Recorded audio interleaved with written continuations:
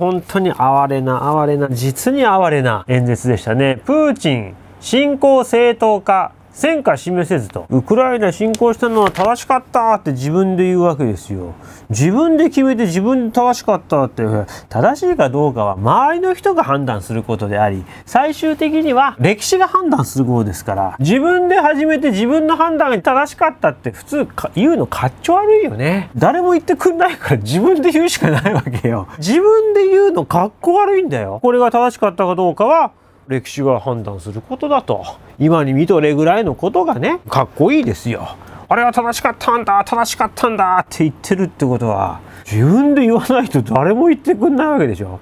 だからほら、トルーマン大統領が広島と長崎に原爆を落としましたよね。あれアメリカのトルーマン大統領が決断して命令したわけなんですけども、トルーマン大統領は30万人殺したわけですよ。そしたらやっぱり大統領その後ね、自分で正しかった、あれは正しかったと言い続けてきたわけです。そして晩年、いよいよ病気になって病院に入って、まあ長くないっていう時に古い友達が会いに来てくれたりとかするらしいんですけども、そのの度に原爆の投下は正しかった正しかった正しかったってボケ老人のようにね繰り返してたんですって。ということは多分本当は内心では正しくなかったって思ってんだよね。本当に心の底から正しかったって思ってたらわざわざ来る人来る人にあれは正しかったんだよあれは正しかったんだよって言う必要がないですよね。もう言わざるを得ない。あれもし正しくなかったとしたら自分の人生何なんだって話になりますからね。正しかった正しかった自分で言って自分に言い聞かせてる感じですよね。ですからまあトルーマン大統領の晩年の話読んでると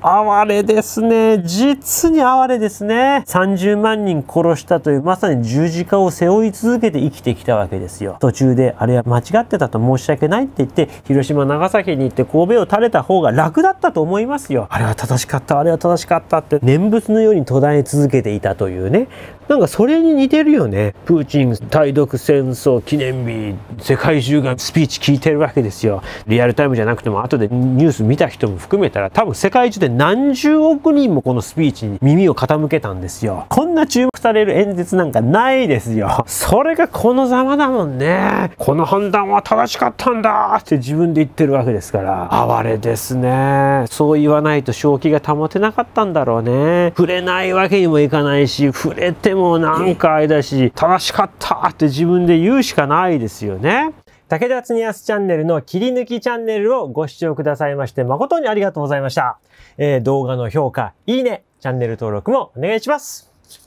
えー、本家武田恒康チャンネルでは毎週木曜日夜8時、えー、日々の新聞から話題のニュースを取り上げ、わかりやすく解説する番組をライブにて配信しています。よろしければ生放送も見に来てくださいね。